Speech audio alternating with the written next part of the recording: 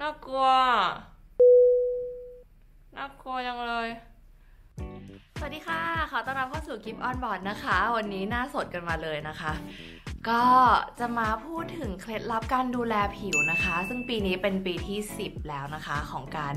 เป็นนางงามของกิฟนะคะ แล้วก็อายุอานามก็ไม่ใช่น้อยๆแล้วนะคะ ก็ปีนี้ 30 ผ่านมาแบบหลายปีมากนะคะ แล้วก็หน้าของกิฟเนี่ยก็ผ่านการใช้เครื่องสำอางหลายประเภท นอกจากนั้นเรายังต้องปฏิบัติภารกิจบุกน้ำลุยไฟเดินป่าอะไรอย่างนี้ก็มีมาครบนะคะ อีกทั้งกิฟก็เป็นคนที่ชอบเที่ยวในที่ที่ค่อนข้างที่จะลุยๆหน่อยนะคะแล้วก็เจอไฟสตูดิโออีกนะคะทำให้เราเนี่ยต้องดูแลผิวหน้าหนักกว่าคนทั่วไปนะคะ ก็วันนี้นะคะยิบจะมาบอกเคล็ดลับทุกคนนะคะว่าวิธีการดูแลให้ผิวหน้าของเราเนี่ยดูเด็กนะคะ อันนี้ไม่ได้พูดเองนะ เพราะว่ามีคนบอกมาก็ขอบคุณมากนะคะ ที่เออเรายังรู้สึกว่าหน้าเด็กสำหรับเขาอะไรอย่างเงี้ยนะคะ ก็วิธีแรกนะคะก็คือการดื่มน้ำทานอาหารให้มีประโยชน์ ถ้าเกิดว่าใครที่ลดอาหารนะคะ ก็อยากจะให้ลดสัดส่วนแทนการลดแบบพวกเนื้อพวกแป้งอะไรเงี้ยซึ่ง2ออย่างนี้มันก็ยังเป็นสิ่งที่จำเป็นอยู่นะผักผลไม้กินให้เยอะๆเลยนะคะ ก็ไม่มีปัญหาอะไรนะคะ แต่ว่าล้างให้สะอาดด้วย แล้วก็ออกกำลังกายนะคะ เพื่อให้เหงื่อมันออกมันจะได้ขับแบบ เชื้อโรคแบคทีเรียในรูขุมขนเราออกมานะคะทำความสะอาดผิวหน้านะคะ อย่างใครที่แต่งหน้าเยอะๆ แต่งหน้าบ่อยๆ แนะนำเลยว่าอย่าทิ้งหน้าค้างคืนเอาไว้นะคะ แล้วก็ให้สระผมด้วยสำหรับคนที่ทำผมและใส่สเปรย์นะคะ ไม่งั้นเนี่ยมันจะมีสิวบริเวณไรผมนี้ได้นะคะ และสุดท้ายค่ะ ก็คือต้องเลือกสกินแคร์ที่เหมาะกับสภาพผิวนะคะ ซึ่งวันนี้นะคะกิฟได้ไปพบนวัตกรรมอันใหม่นะคะของ ฮานะเคียวนะคะ all in one facial นะคะ ซึ่งเขาส่งมาให้เราใช้นะคะ อันนี้นะคะ ต้องขอขอบคุณฮานะเคียวนะคะที่ส่งมาให้เรานะคะ บอกว่า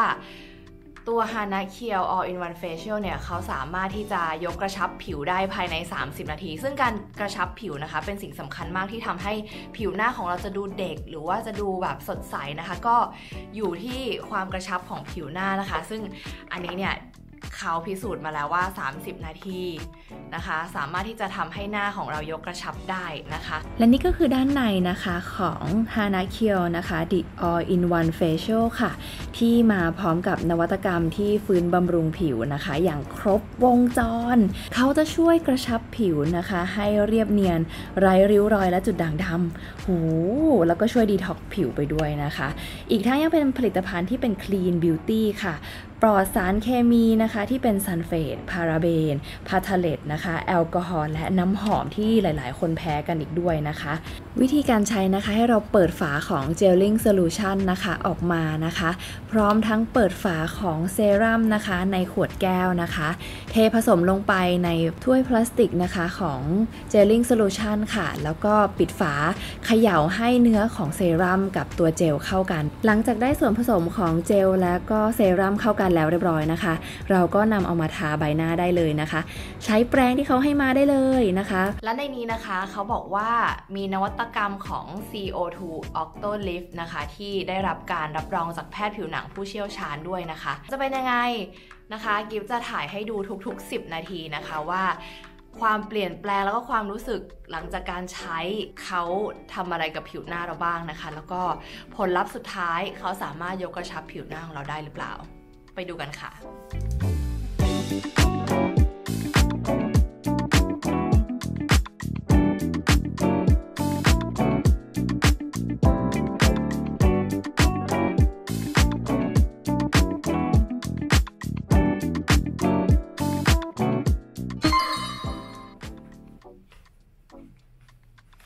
เรียบร้อยค่ะ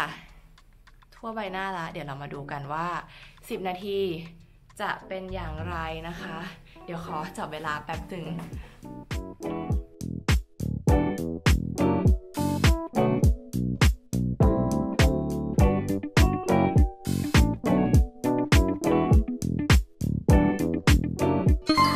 ตอนนี้นะคะครบ 10 นาทีแล้วนะคะ เราก็จะมาารีวิวช่วงเวลา 10 นาทีนะคะ มันจะมีความรู้สึกแบบ คันๆ นิดๆ อะไรอย่างเงี้ยค่ะ เหมือนหน้าถูกแบบบีบด้วยอะไรบางอย่างนะคะ ซึ่งตอนนี้คือหน้ารู้สึกหน้าแน่นมากตอนนี้ค่ะเดี๋ยวเราจะมาดูกันว่า 20 นาทีผ่านไปเป็นยังไงค่ะ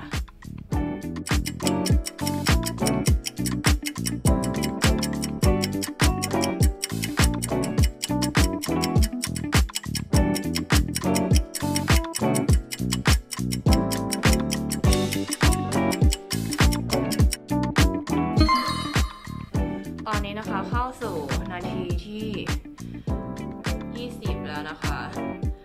ตอนนี้รู้สึกว่าหน้ามันยิ่งโดนรัดเข้าไปหนักกว่าเดิมอีกนะคะจาก 10 นาทีแรกนะคะเอ่อบริเวณที่ทาตัวมาร์กไว้นะคะ เขาจะดึงแบบให้มันแน่นกระชับมากขึ้นเอ่ออาการยิบยิบก็ยังมีอยู่นะคะ แล้วจะกลับมาพบกันอีกตอน 30 นาที ครบ 30 นาทีแล้วนะคะ ตอนนี้นะคะก็คือหน้าหน้ามันแบบ ตึงมากแล้วก็ตรงที่โดนทามาสก์ไปเนี่ยเหมือนโดนรัดด้วยอะไรสักอย่างนะคะ แล้วก็เดี๋ยวเรามาดูกันว่า หลังจากที่ล้างหน้าเสร็จแล้วนะคะหน้าจะเป็นยังไงนะคะ ผิวจะกระชับมากแค่ไหนไปล้างกันค่ะ ล้างด้วยน้ำอุ่นนะคะ เดี๋ยวกลับมาค่ะ ล้างเสร็จแล้วเรียบร้อยนะคะ ด้วยน้ำอุ่นนะคะ รู้สึกว่าหน้าแบบสดชื่นมาก เมื่อกี้ลองถ่ายรูปดูนะคะ หน้ามันแบบ ยกกระชับได้จริงๆอะ่ะไม่น่าเชื่อว่าแค่มาร์กตัวเดียวนะคะ สามารถที่จะทำให้ผิวหน้าของเราแบบต่งตึงอะ่ะไม่ต้องพึ่งหมอแล้วนะคะ ตอนนี้ขอบคุณฮานาเคียวมากนะคะ ที่ส่งผลิตภัณฑ์ที่ดีๆนะคะ มาให้กิฟได้ลองใช้นะคะ ก็ใครที่สนใจนะคะ อยากจะสั่งซื้อผลิตภัณฑ์ของฮานาเคียวนะคะ ก็สามารถสั่งซื้อได้นะคะ ตามช่องทางที่กิฟขึ้นไว้ให้นะคะ แล้วก็ใครที่อยากจะมีผิวหน้ากระชับนะคะ ก็เอาวิธีของกิฟนะคะไปใช้ได้เลยนะคะสำหรับวันนี้นะคะกิฟออนบอร์ดก็ต้องขอลาทุกคนไปก่อนนะคะ คลิปหน้ากิฟจะมาทำอะไรอีกหรือว่ามารีวิวอะไรอีกนะคะ ก็ฝากกดไลค์กดติดตามนะคะ subscribe แล้วก็กดกระดิ่งให้กิฟด้วยนะคะสำหรับวันนี้ไปแล้วค่ะบ๊ายบาย